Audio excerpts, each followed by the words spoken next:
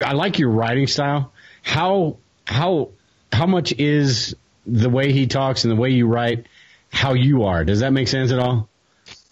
Well, you know, they say that the the best way to write is to write about what you know. And so, yeah, I model a lot of what he does off the way I act and the way I talk. Um, a lot of other characters are modeled off other people that I know or or like Sarge in the books, he's modeled after R. Lee Ermey in the way he acts and talks. Um, you know, because truth is always stranger than fiction. It's always better. You the old term, you know, you just you just can't make this stuff up. So. Um, trying to keep it grounded in, in, in reality and, and, and, real people, it just makes it better, in my opinion. So, um, you know, I I was in the Marine Corps for a little while, but I was discharged early. But I spent over 20 years working in heavy industrial construction. And those guys were a vast, varied, colorful bunch, and a lot of it comes from people that I've dealt with over the years. Cool. Yeah, and if anybody that's watching right now, if you guys have questions for Chris, that's what this is all about. Uh, fire away. on here. Yeah, yeah, fire away. Um, I, I did notice in your in your book when I was reading it, I was like, man, this dude has got everything. Is you know he's got this, he's got that, and then I started thinking about it, and I was like, you know, if I was put in a situation like that to the average person, they would probably think the same thing about me. And I think preppers in general are kind of like that. We just have so much crap that, you know, maybe we'll never need it. Maybe we will, but, uh, we almost kind of feel naked if we don't have it. You know what I mean? Absolutely. You know, and, and people always talked about his bag and how it wasn't realistic. Well, Morgan's bag weighed 65 pounds. That's a very heavy bag. Yeah. But then they would also complain that Morgan only walked about 10 miles a day.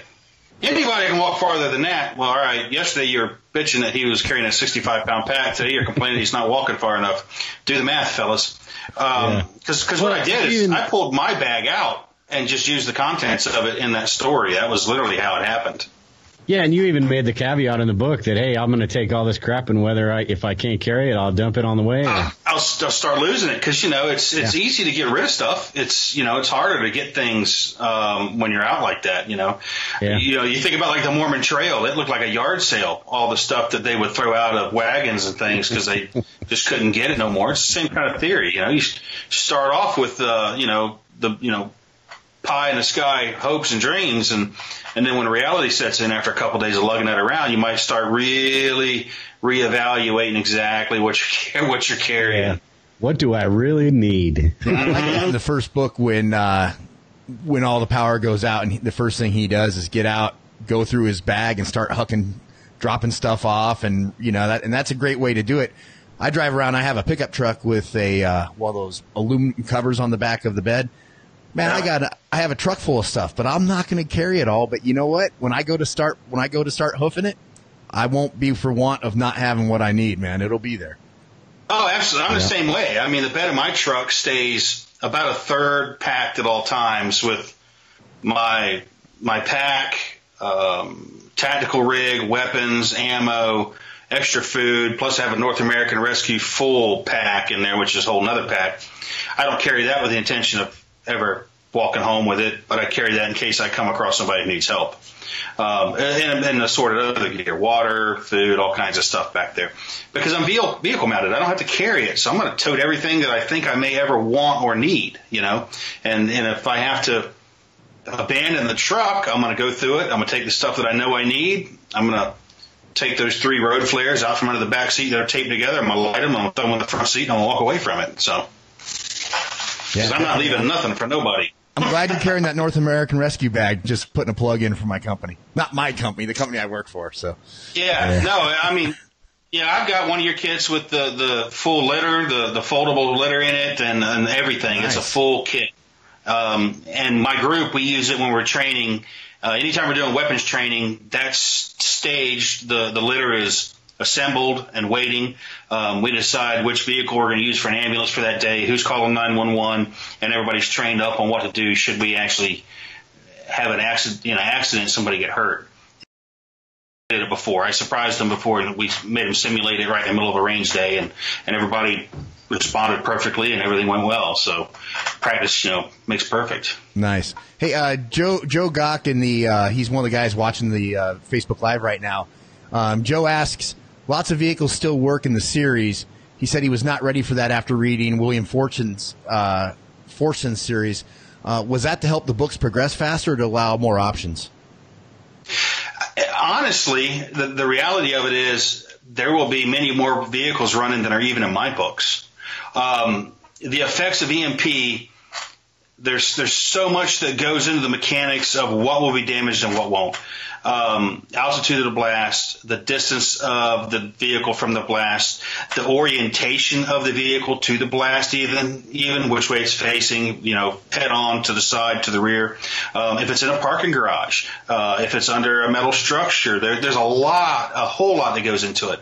And there'll be a number of vehicles that may die in the initial uh, event but if you wait about 15 minutes, they're going to start back up.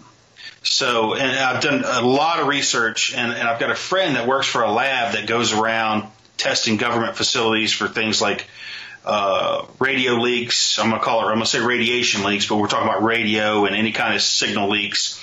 And they also test EMP stuff. Um, I sent him some Faraday bags to test um, as well as some other methods we tested. They tested them to mil spec standard. So uh, I'm learning a lot more about this. You know, like your cell phone will probably survive an EMP. You know, EMP is uh, cumulative. So the something, the more load you're going to attract um, and build up, and that's how things get destroyed. So your cell phone, very small antenna. Um, cell towers, huge ass antenna, they're going to burn up. So the phone may work, but you'll have no service. But you know, any PDFs or data you have stored on there may actually still survive. But then some some may burn up. So.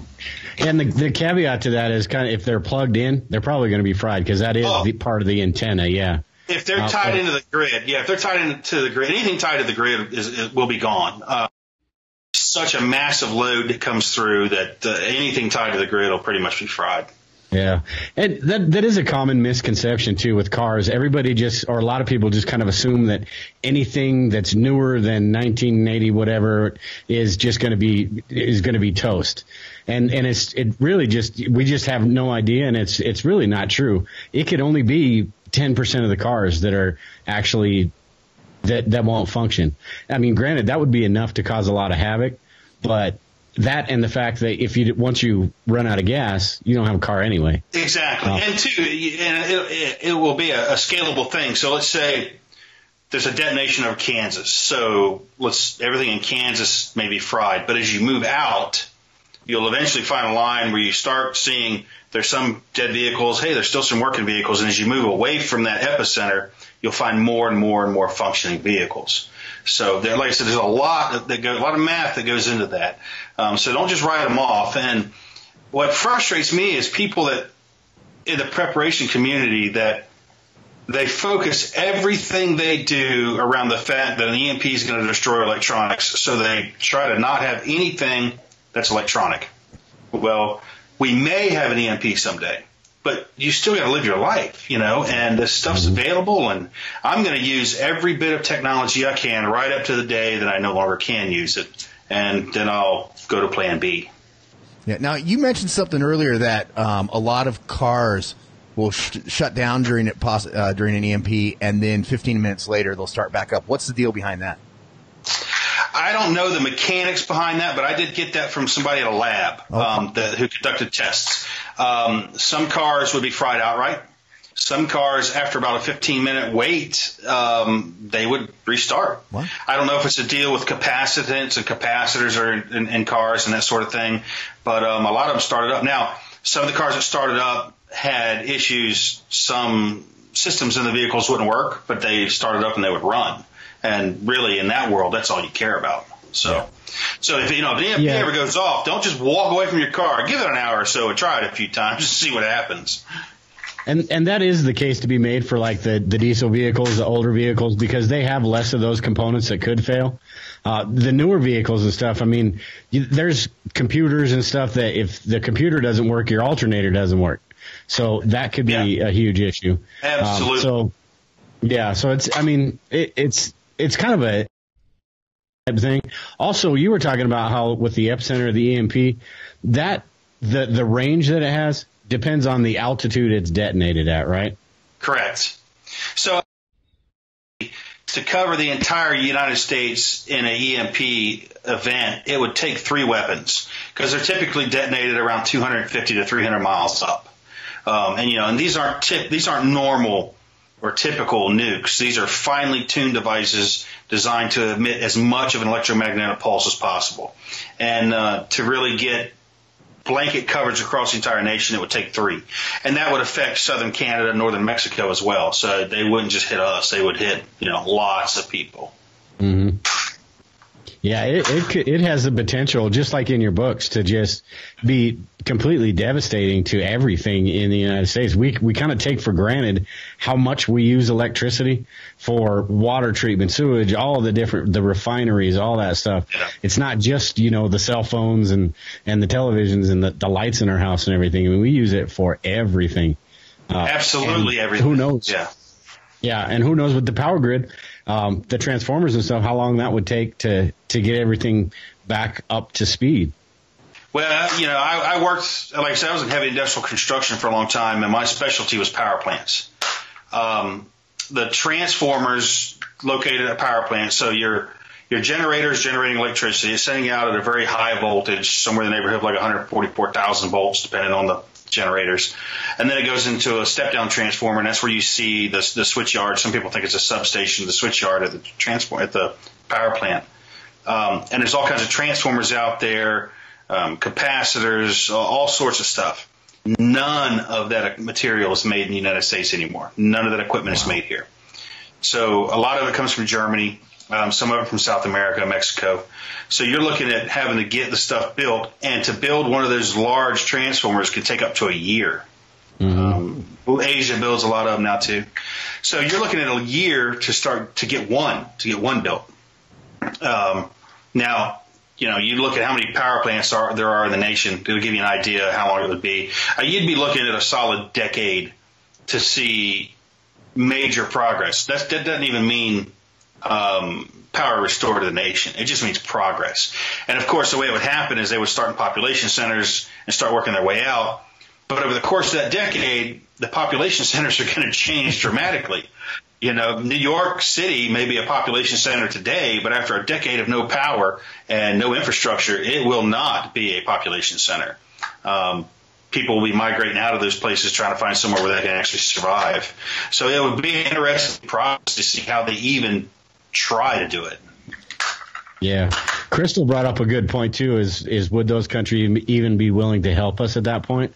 And also along those lines is what countries out there would be looking to take advantage of the fact that we didn't have uh, the electricity, the, the communications, the you know I'm sure the military is probably more hardened than we probably know about, but uh, you know what how that would that would kind of put us at risk. And if these other countries are like yeah we'll we'll we'll get to you you know we kind of like with you, you not being on the top of the hill anymore. Well and, and just like what happens later in my series not offering spoilers but you know china and russia both step up and say we'll offer humanitarian aid to america. You know and once they're once they're here they're really hard to get rid of. So um that could very well happen. Uh, and yeah, there's going to be the the day the lights go out in the United States of America. Um, there'll be a whole lot of additional lights all around the globe from fires and explosions and firefights that are going to be taking place because um, that'll kick the ball off for a whole lot of people with scores to settle. Yeah, no, I mean no well, doubt about that. And and Matthew or uh, yeah Matthew Stein that was just on my podcast talked about how nuclear reactors and all that would would melt down as well because they don't have the they've got like a week's worth of fuel. Uh, so without the electricity to keep that water pumping in, and uh, there's just so many things that we don't really think about that it could just just freaking wreak havoc. Uh, Keith had mentioned in the comment, I don't know if you were going to read that or not, Brian, um, about the U.S. power grid being a patchwork, uh, and it's it is it's a bunch of different companies um, from the east stretched out to the west that kind of have their own own little power system. So um, something smaller could affect a couple. Uh, something like you were talking about, something large could affect the whole thing. But well, there's these... there's four grids in the United States. There's an eastern, a central, um, a western, and then Texas. Texas is its own grid.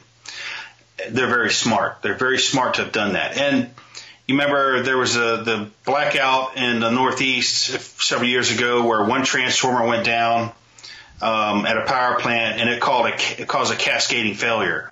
Same thing happened out west in California.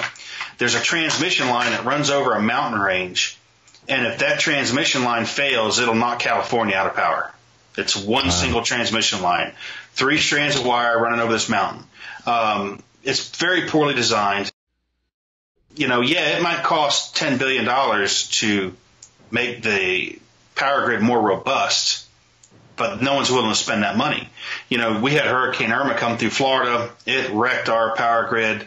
Um, the power companies come in restore it, and then they go to um, down here. It's the uh, uh, oh, I just forgot what they call it, but they they go to the state commission asking for the per- permission to charge each um, account basically a one-time fee for restoration. Now we pay our power bills all year long. You look at their financial records and you see the billions of dollars that they profit, net profit, mm-hmm. but then they want us to pay when stuff breaks. Well, what are we paying the power company for? You know, um, they should dip into their own pockets, but they don't want to do that. They want us to then, in turn, pay for the repairs of the system that we're already paying to use. So it's, you know, greedy folks. That's what happens when you let uh, utility companies or any company write legislation. So, yeah, it's all about the bottom line.